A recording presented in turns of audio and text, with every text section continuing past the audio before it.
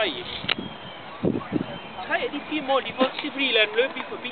Gå nu ind og sæt, gå ind og sæt en takling ind, og så lave et frispark.